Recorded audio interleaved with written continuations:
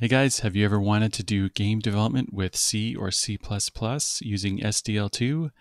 Well, maybe this is the video for you then. We're going to be setting up the CLion IDE to compile and work with SDL2 code. Yeah, I think it's going to be a lot of fun and it should be really short.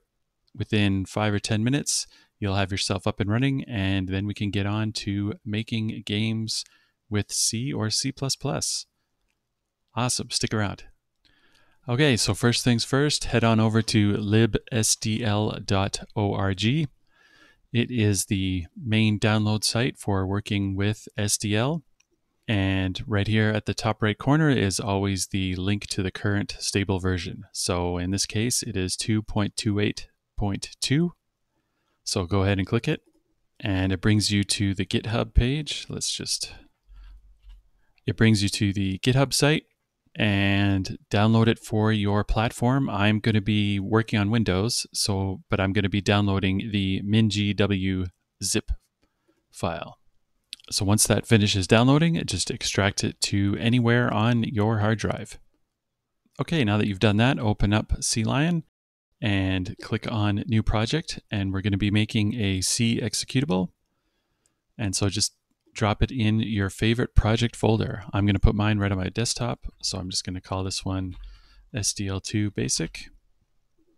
And I'm using C17 language standard and hit create. Okay, so we start off with a very basic C file, just a main.c where we're just printfing hello world and returning zero. So let's go ahead and get rid of the print statement and let's just create our own SDL init and it will accept as a parameter what kind of settings we want to initialize with SDL. And we're just going to initialize everything. So SDL underscore init underscore everything, all in caps. And then we're going to be, the next line will just be SDL underscore quit. So these are the two lines to initialize SDL and then quit SDL. That's all we're going to do in this test program. It's just a way to verify that your environment is set up all correctly. So at the top here, we'll just be including SDL.h, which of course we don't have in our path yet. So let's uh, maybe expand expand your project folder on the left here. So we've got our basic uh, cmake lists.txt file. We've got our main.c source file that's auto-generated and the CMake build debug folder that's also auto-generated by CLion when you create a new project. So let's go ahead and go into our CMake list.txt file.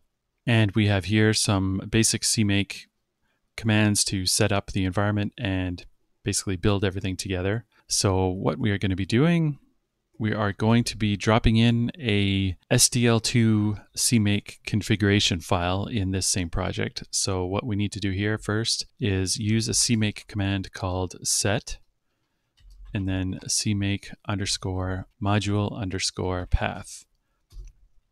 And I'm going to set it to dollars dollar sign CMake source dir, which is basically our source dir um, like our current directory, and then slash cmake underscore modules.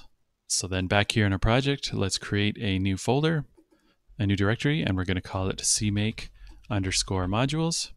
And then we are going to be creating a file called find find sdl2.cmake. Then there is a standard cmake file that's floating around the inter interwebs. I will save you the hassle, so just along with this project that you'll find a link in the description down below. Just cut and paste my CMake file.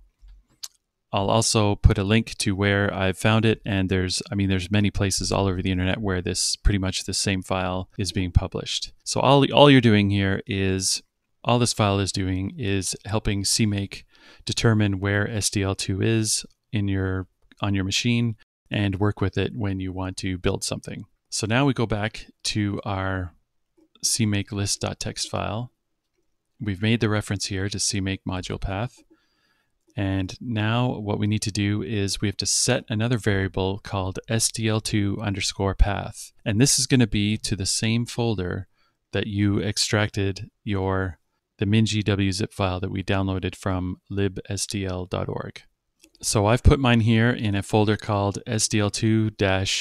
SDL2-2.28.2-MinGW. And so all you have to do on Windows at least is just click into the Explorer bar here and it gives you the full path. So just double click into that.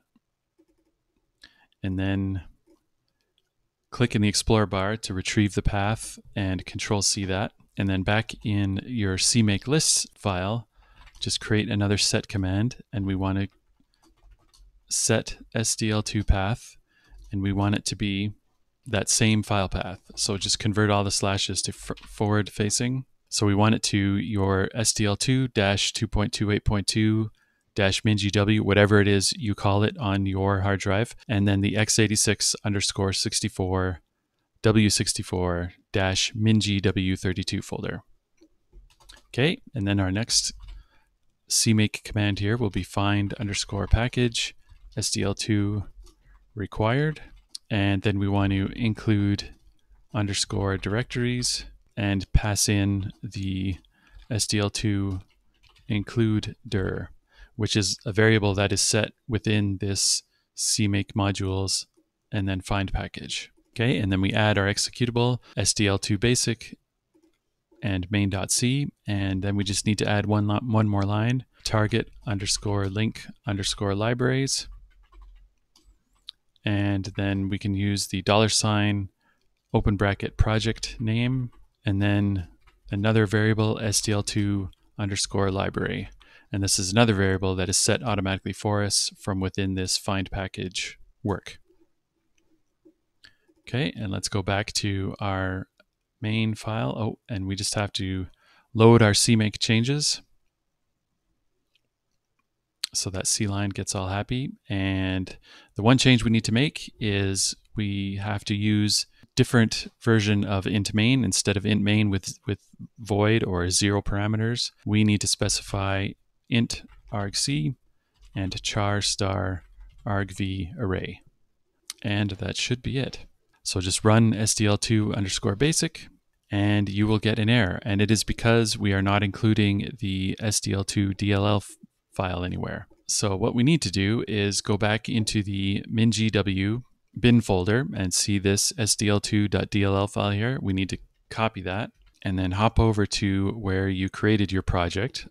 So I put mine on my desktop and then I called it sdl2-basic and then within the cmake build debug folder, just paste that sdl2.dll file. Okay, so it's there and now we should be able to run it. Everything looked okay. We're not doing anything other than initializing SDL and then quitting SDL. But it's a but it's a test of just making sure the libraries link together and everything works. And that is it. I told you it'd be quick. If you liked what you saw, just like this video, subscribe to the channel for more like this.